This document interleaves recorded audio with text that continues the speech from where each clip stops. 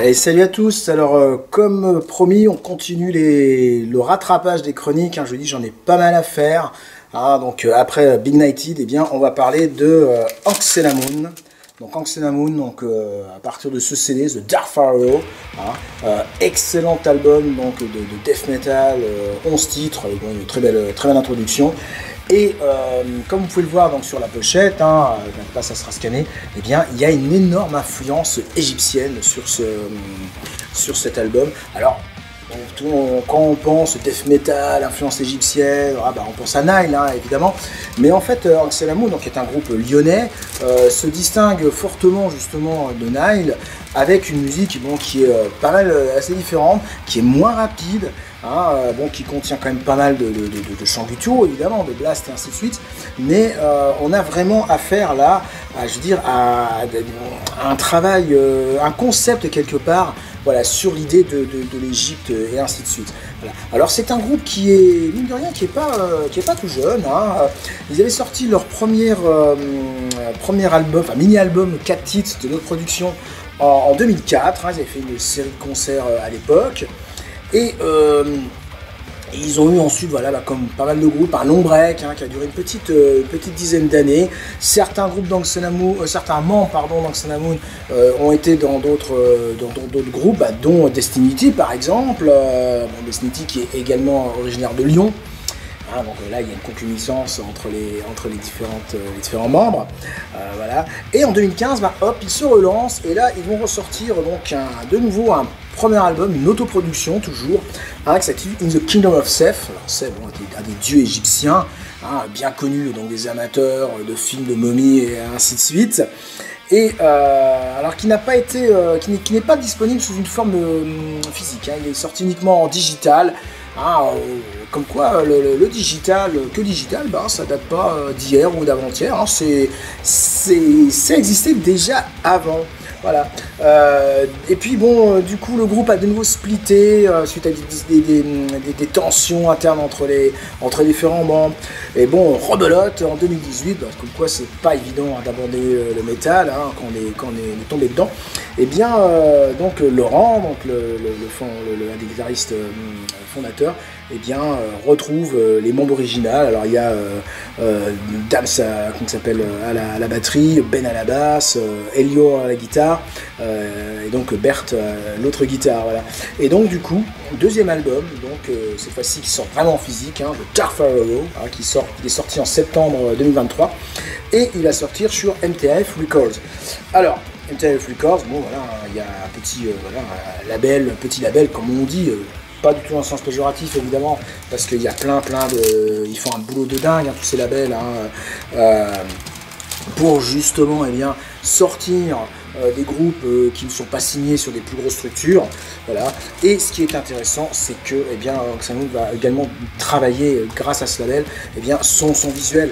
Par exemple, si je prends ceci, vous voyez, le, le, groupe en son album. Hein, euh, et bien voilà, euh, un très beau, un, petit livret euh, avec, voilà, bah, avec des photos du groupe, avec une petite bio, la pochette de l'album. Et puis ce qui est rigolo, moi je trouve ça assez génial, comme quoi on est vraiment à l'heure 2.0. Voilà, des scans des QR codes qui permettent de, de, suivre les groupes sur Facebook ou sur le, site, le site internet. voilà. Des, petits goodies, voilà, le groupe m'a envoyé, c'est assez rigolo, je trouve, voilà, cette petite, cette petite, euh, ce petit pendentif, hein, voilà, euh, très égyptien. je trouve ça vraiment très sympa.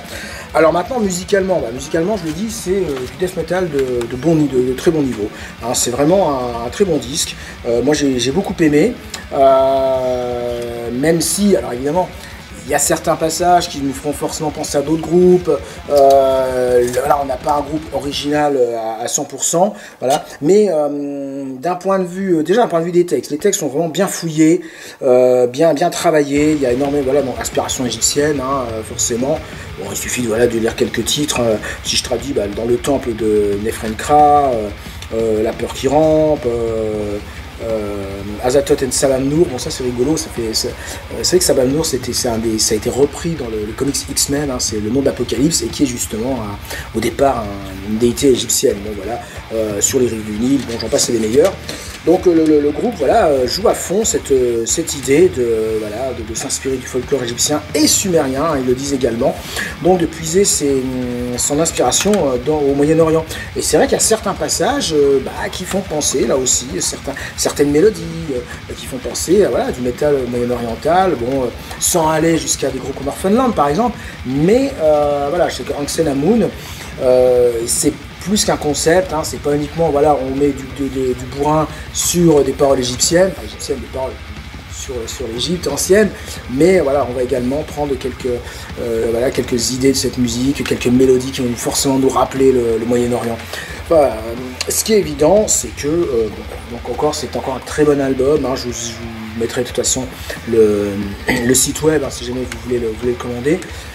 Franchement, jetez-y une oreille dessus, parce que je sais qu'il y a beaucoup de, beaucoup de groupes en ce moment qui sortent pas mal de trucs, hein. voilà, des groupes pas forcément connus. C'est pas évident d'ailleurs de, faire le, tri entre tout ce qui sort. Moi, de toute façon, moi, j'y arrive pas. Hein. Hein, de temps en temps, euh, je, tombe soit sur une écoute YouTube, soit sur quelqu'un qui me dit bah tiens, tu dois écouter ça, ou des groupes qui me contactent pour que je puisse voilà, parler un petit peu de, un de leur groupe.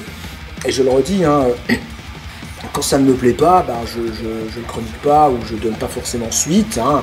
Euh, voilà, euh, j'ai adoré donc Oro, euh, celui qui est sorti chez Doggore.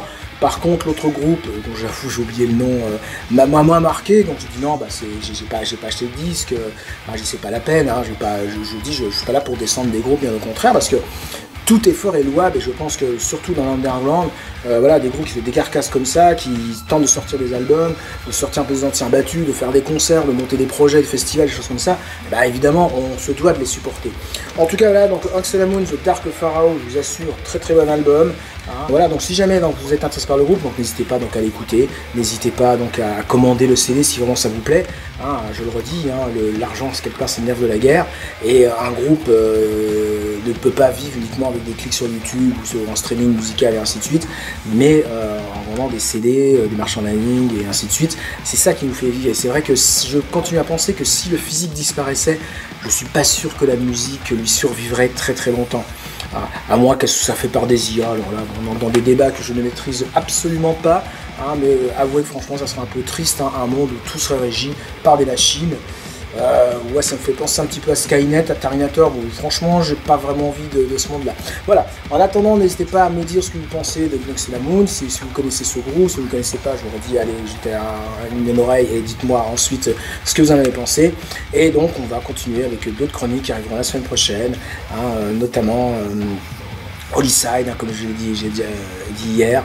Et puis, euh, n'hésitez pas à aller voir d'autres vidéos de la chaîne. Hein. Il y en a certaines qui marchent pas mal en ce moment. Euh, n'hésitez pas à laisser, des commentaires, à partager. dans les commentaires, pareil, juste une petite chose. Bon, il m'arrive parfois de faire des blagues. Bon, sont pas toujours très drôles. Hein, mais c'est pas du tout parce que j'ai les chevilles qui ont, faut que j'ai le melon, comme j'ai pu le dire sur notre vidéo. Mais tout simplement parce que voilà, de temps en temps, on, on va pas toujours se prendre au sérieux. Voilà, allez, salut